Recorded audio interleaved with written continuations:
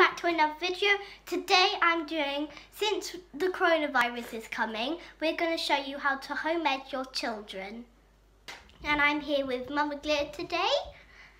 And she's going to show you how to home ed your children because we're Brother Glitter is with us because his school's shut down. So we will have to, Mama Glitter will have to home ed him.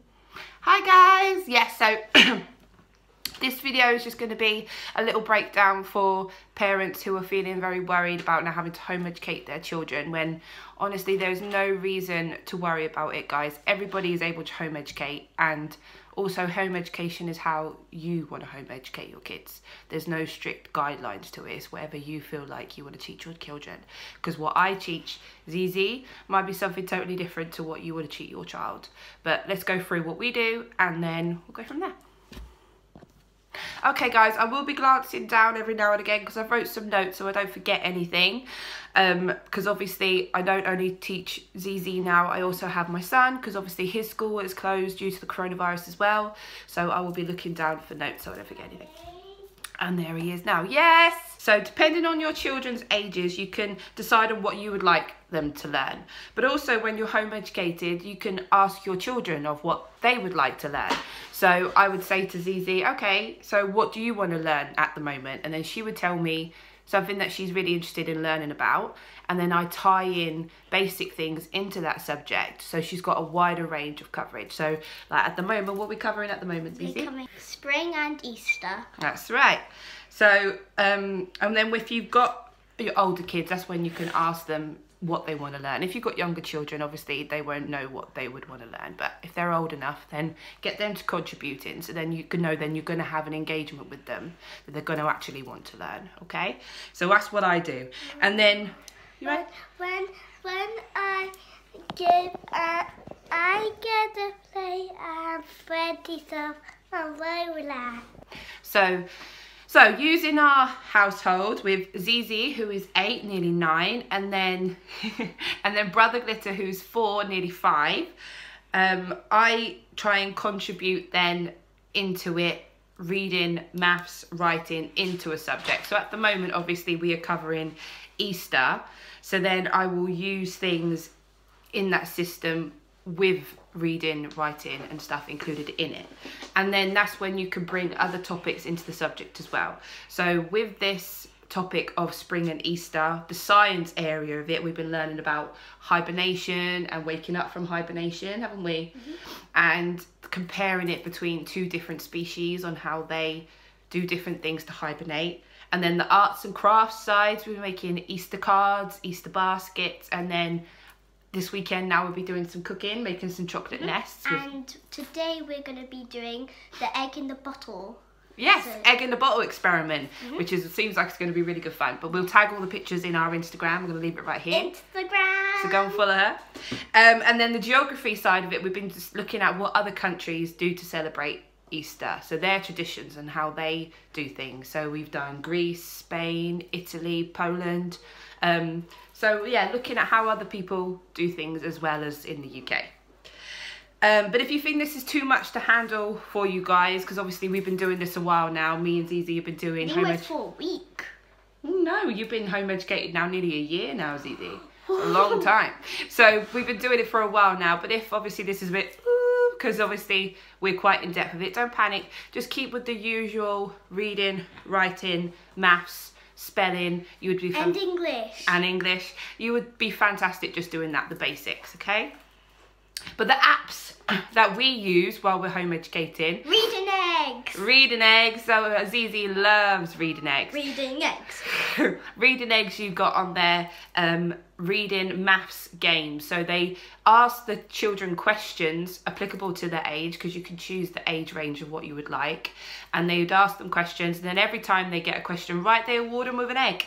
And then when they get a certain amount of eggs, they can customize their costumes, their characters, maps, that sort of thing. And also what I like about Reading Egg is they message you via email to keep you updated on how your child is doing. Mm -hmm. So you are able to see their age, their reading age and their spelling age and what things that they need to work on.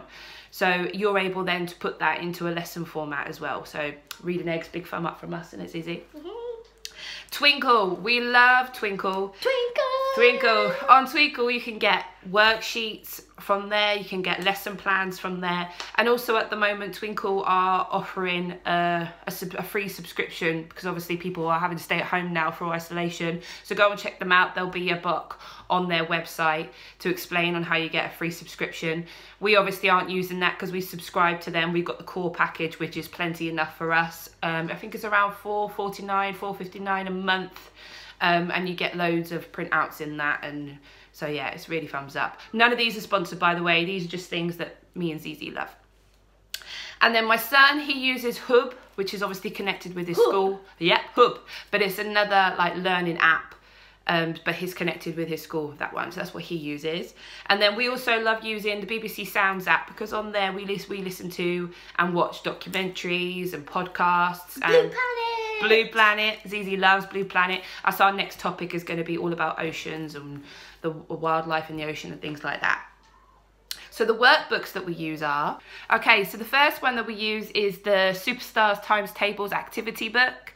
This is good because obviously it helps with the kids' timetables and seeing that how um, equations are not always written the same way. You know, how you can put them a different way but still get the same answer. So we love this. We got this at the works. Um, and Zizi loves this one, don't you, Zizi? Yeah. So we have this one. And then also we've got a combination of maths and English in here. In the beginning is maths and then halfway through the book it goes to English. And then it teaches all about um, composition words and all those sorts of things and how words obviously have um, probably a letter in the beginning but you don't sound the first letter, things like that. And they put them in a very simple format which is easier for kids to understand and also adults. But on the back of these, which is what I like, they also give the answer sheets if parents are struggling themselves in things like that, then they can get the answers in these books too. This is also from the works. So we do that. And then any books when it comes to the reading time for Zizi, is any books that Zizi would like to read. So at the moment she's reading like the Holiday Magic and there's also another book which is the Raccoon book, Raccoon on the Moon, things like that. Anything that she would like to read to me, I let her read. I don't have any restrictions on, no, you are reading this. If this is what Zizi fancies reading on the day, then we'll read that. But then when it comes to my son, we are then at the moment reading a chapter from a book. So the book that we've all chosen is Harry Potter and the Philosopher's Stone. That's the first one we're going to start reading. So I will read the first chapter of a book and then what I'm going to get Zizi to do is do a chapter review of what she's learned about the first chapter and what she's expecting to happen in the next chapter of the book.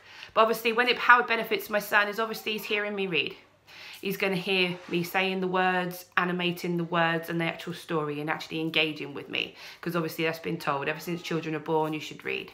So just reading to your children, guys, is going to be fantastic in itself, okay? Okay, so these are games that we like to play with each other. So catch the ball. This is very simple, guys. It is exactly how it says.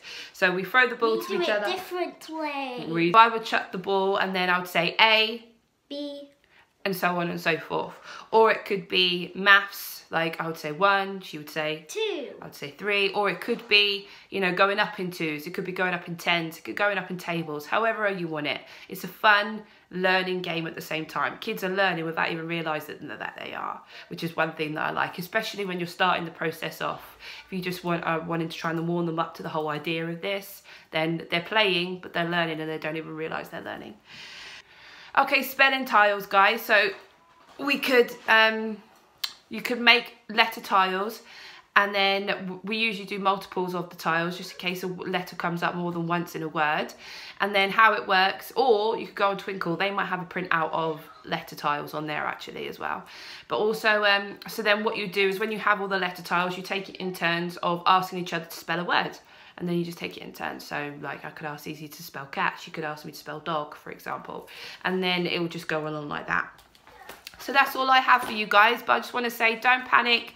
Do what you ever need to do that suits your children at the end of the day. As long as you do the basics of reading, writing and maths, you're doing the benefits of what everybody, what every child needs, okay, to stay up to date and not losing the enthusiasm of wanting to learn. So even if you do that, but this is just the way that we tie in so you actually get the benefit of actually also learning with your children. Ever since I've home educated Zizi, I've learned so much along the way, haven't I? Yeah.